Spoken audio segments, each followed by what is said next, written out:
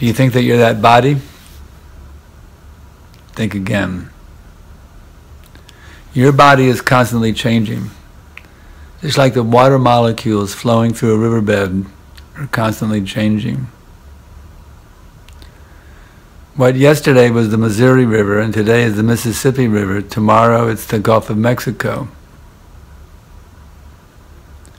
So the molecules, all the chemicals, the elements flowing around the Atma, the actual self, are in a constant state of flux.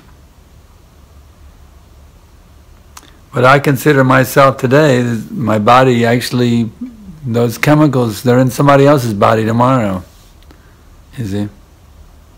So the constant factor is that self who's sitting inside the body.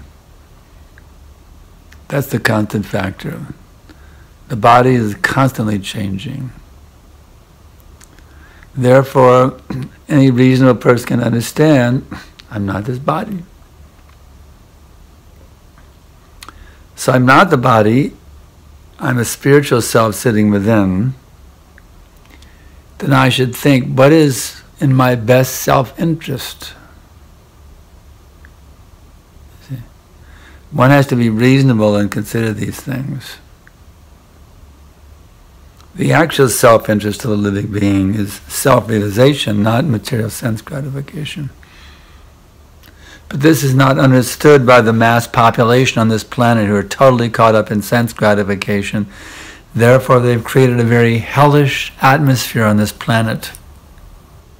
So we want to change that. That is our mission, the Krishna consciousness movement. We want to bring in a new era of spiritual enlightenment where everyone realizes I'm not this body and everyone acts for the purpose of realizing their higher natures as the eternal servant of Krishna or God. Thanks for tuning in. Hare Krishna.